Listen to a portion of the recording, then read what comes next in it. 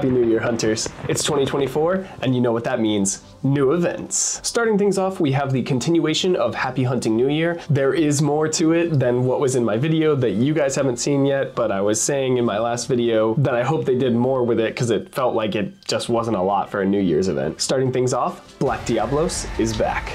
We had one aggressive angry lady monster to end the year, and then we have another one to bring in the new year. Remember, they'll only show up in desert habitats, but if you do find a desert habitat, they're everywhere. Even my cat's been paintballing them for me. Hopefully we're all strong enough to solo these by now, but if you're a new player, then welcome to Monster Hunter Now. If you are new, paralysis is the weakness you want to go for when it comes to Black Diablos. If you've been here for a while, ice is probably better. Her weapons and armor are crazy, especially the bow, so make sure you at least grind a little bit through this event. All the Black Diablos will disappear on Monday, January 8th at midnight. There are new quests that just dropped for Happy Hunting New Year, and they're actually pretty good. Spoilers for the quests, if you don't want to be spoiled, skip to this timestamp. It starts out with you having to gather 50 Palace Palisnow. If you reset your game every 15 minutes, your Palico can actually just gather that for you. And anecdotally, every time I pick up a Palace Palisnow, it is like one. But if I let my Palico pick it up, it's like three to five. So just just let your Palico do it. I don't know if that's like a actual game function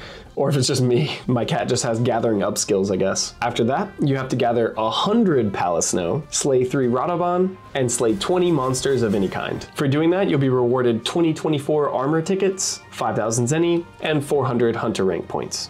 But you only have to complete the first quest, which is the gather the 50 Palisnow, in order to make the brand new headpiece equipment, the 2024 specs. I look absolutely dripped out in these.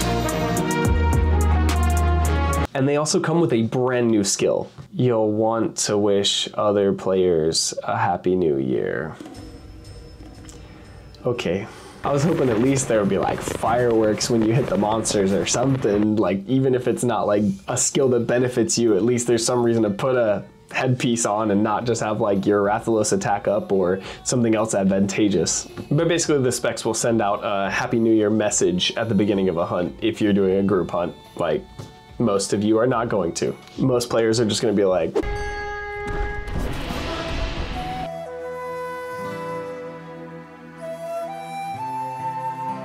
Surprise, mother. Neato. Anyway, the next round of quests in this is slay 10 large monsters with these specs equipped, slay 3 Barioth, and slay 20 monsters of any kind. This will reward you with 15,000 Zenny and 300 Hunter Rank points. But then after that round is the real reward. You're tasked with hunting a Black Diablos. Yes, it can be any level Black Diablos. I had someone in the Discord check Thank you so much for doing that for me, bro. And slay a Zinogre of any level. If you complete those, then you get a Wyvern Gem Shard and a Zinogre Plate, which are both rarity 6, so that is a very good reward. That's awesome. As well as 200 Hunter Rank points. but that's actually a worthwhile goal to shoot for. This is really cool. I hope they continue things like this because then it's like a real incentive to like, okay, I want to grind hard. I want to get these like guaranteed rewards. Like that's sick. I genuinely want to go grind just so I can get there. And then if you complete those, then you are rewarded with a 2024 Happy Hunting New Year medal. But don't forget, there's also new gem deals. I'm not even gonna talk about these. Buy them if you want. Like, I don't know the conversion rate of gems at all because I don't buy them except for like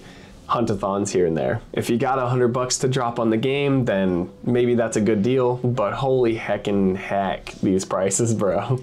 Oh, oh, oh, but I there is this one that's uh, $200. So like the price of, if not more than like a collector's edition of a brand new Monster Hunter game. Okay, whatever necessary evil. But make sure you get out there and grind for this event because as soon as the Black Diablos go away on Monday, January 8th, so does this quest line. But moving on to the rest of the events for January, Quellaly's special quests are coming back. They are always welcome. It looks like it's going to be the same thing. All hunters HR 11 and above will have the chance to complete time limited events to obtain items that can be used to upgrade your equipment, such as Dragonite ore, Carpenter bugs, as well as items like Monster Bone Plus and Zenny.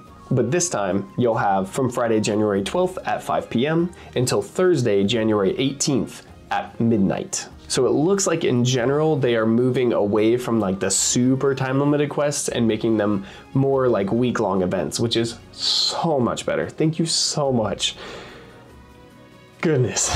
But then after that is the descent of the Azure King. From Monday, January 15th at 9 a.m. until Sunday, January 21st at midnight, you'll be able to hunt Azure Rathalos. It says, get ready to welcome Azure Rathalos in its very first appearance in Monster Hunter now. We'll also have time-limited special quests rewarding a Hunter Medal and appearance rates of Rathalos and Azure Rathalos will be boosted over the weekend. That's sick. As long as you've completed Chapter 13 and unlocked Rathalos hunts, Azure Rathalos will appear in low numbers in forest habitats throughout the event. That's so awesome. That is a Monday to a Sunday that you have that much time to go out and find yourself Azure Rathalos. They're going to be fire weapons, and I don't discuss leaks, so I don't know what the armor is like, but it's going to be good. Join the Discord if you want to talk about leaks. And then there's Banbaro and Radobaan week, which I don't know who asked for that, but like, okay. From Monday, January 22nd at 9 a.m. to January 28th at midnight. During the event, all hunters HR 11 and above will be able to encounter Banbaro